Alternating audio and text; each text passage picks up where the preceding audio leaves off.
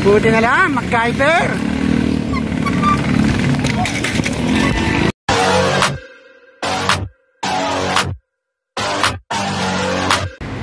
So we are back again mga kabikers. So anong balita sa inyo at anong balita sa amin. So right now nandito kami sa kahabaan ng Show Boulevard at time check 6 o'clock in the morning.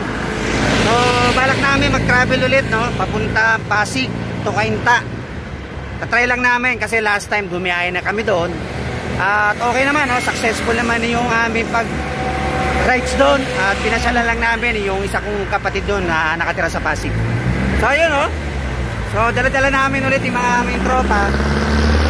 Si Ano nito dyan? Si Granger, Big Bro at si 30. Tinayan lang si Granger ha. Mahahataw na yan oh. So ngayon punta kami Pasig. Travel travel lang, hindi namin alam kung saan kami pupunta. Basta rides lang kami. Okay, samahan nyo kami. Tara, alis na tayo! So yun nga ka-bikers to. So nandito na kami ngayon sa Pasig area. At maganda ang kalsada, napaka luwag no. So safe na safe tayong bumiyahe ngayon no. So kanina kala ko hindi matutuloy yung rides namin no. Kasi kaninang madaling araw, gising kami mga 4:30. Malamig no, medyo umaambon. At malaki yung dilim. So hindi ko rin i-expect na matutuloy kami ngayon. Kaya Swerte, umaaraw, maganda yung panahon. Makulimlim lang. Pero malamig. So sana hanggang mamaya sa pupuntahan namin Hindi kami abutan ng ulan. And hoping ako na wag sana umulan. Ganito lang yung weather, malamig Para ka nasa Tagaytay o sa Baguio, di ba? Wow! Eh di wow! so bikers, no?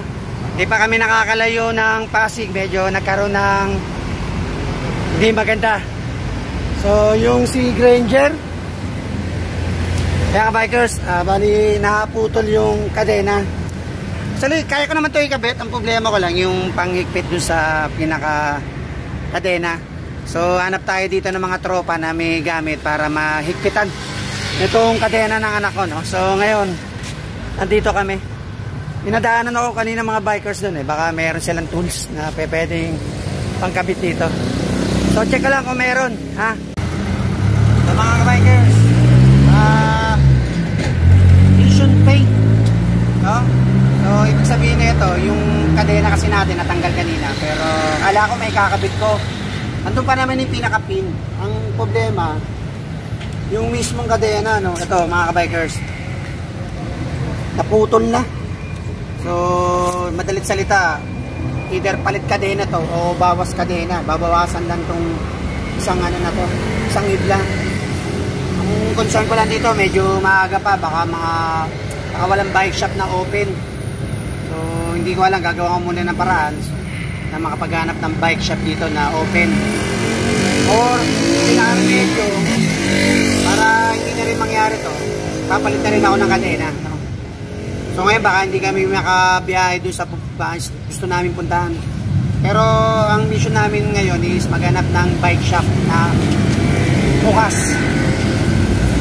Patabayan nyo yung mga susunod na mangyayari. so, yun ang nangyari. Imbis na pagbabay kami, eh, nangyari, eh, eto, naglalakad kami, no? Wala kaming choice kundi maglakad dito sa kahabaan ng Show Boulevard. At naghahanap kami ng bike shop na meron, no? Alanganin kasi yung pinestuhan namin, no? So, kung saan siya nasiraan nga, yung si Granger nga, no? So, sa may bagong ilog pa yung bike shop na meron available.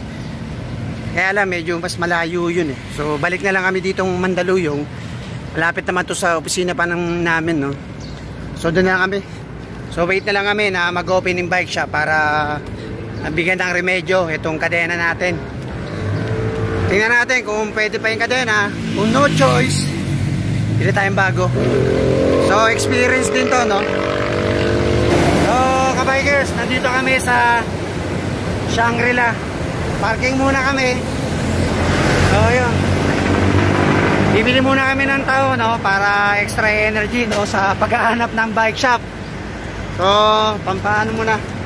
medyo ginutom kami sa nangyari no. Hindi namin in-expect na masisira tong bisikleta. Kasi nga bago lang to eh. Although yung kadena kasi talaga, to totoo lang mga kabikers, kadena talaga nito, sponsor lang talaga sa akin sa isa kong kaibigan na si Chris no, nakasama ko sa trabaho. Sponsor niya lang yun. So, siguro medyo matagal na rin.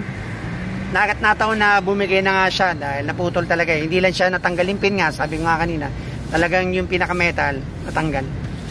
So, experience to, no? So, sa mga bikers natin dyan, no?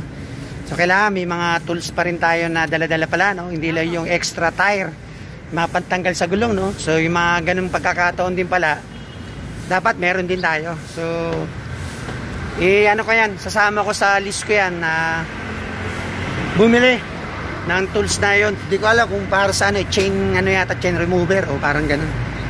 So, ganun talaga. Pero maganda rin, yung bonding na rin ng family. Ganda ng view.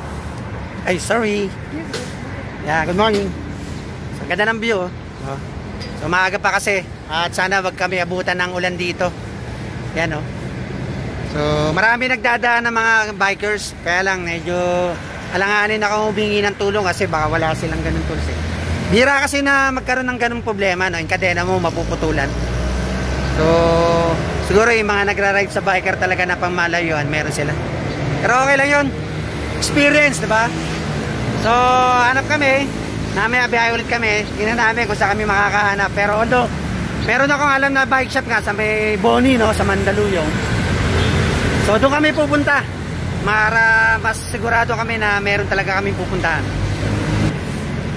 So tahu-tahu muna tayo dyan. so naging tahu session na nangyari. Hmm. Sarap.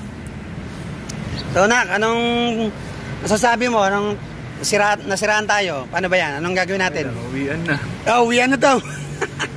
Yun na nga mangyayari, no? Uwian na. Pero, okay lang yon Kasama sa, ano yan eh. Experience yan eh. Ikaw, B. Paano na? Oh, nasa Wala vlog ka. pagod mag-bike.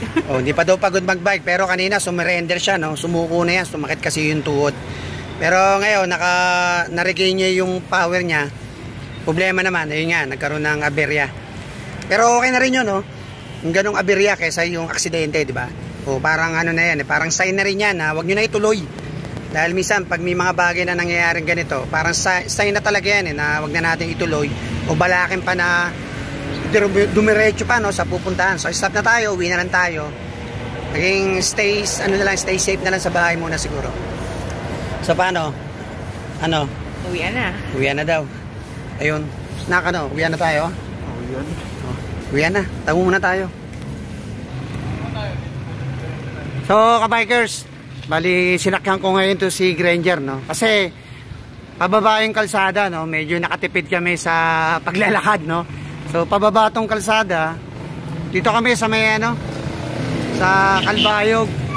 So, pababa yung kalsada, kaya, kaya pwede ko biyahe ito, no? Kahit walang kadena. Ayan, no?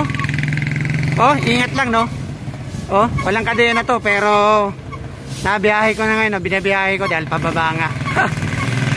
okay din, no? May experience mo na walang kadena, pwede rin pala umandar, no? Talaga naman, may experience mo lahat kapag nasiraan ka.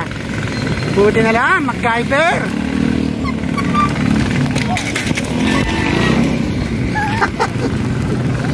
Yan na, gams eh. Oh.